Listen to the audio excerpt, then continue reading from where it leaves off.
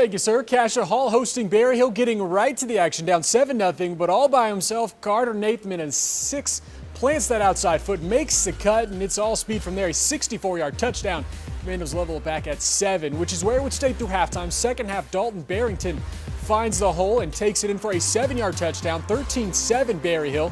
Then, after a big play for the Chiefs, Connor Payne takes it in on a sneak. A big second half from Berryhill, and they get the win on the road 28-21. Joe Medina will try to get win number 300 again next week. Dan, nice job. Samson, nice job.